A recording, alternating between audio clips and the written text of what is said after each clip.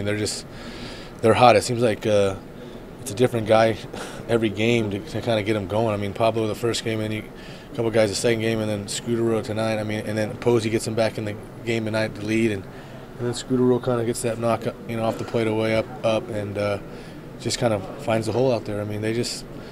You know they, they do they did this series what good teams do and they just got some timely hitting and, and good pitching performances and uh, we just couldn't get that one hit to, to kind of get things going and and uh, and you know give us some momentum. Praying for Mr. Ilitch, the city of Detroit, Mr. Dombrowski because they put everything together to to put uh, excellent team to go out there and compete.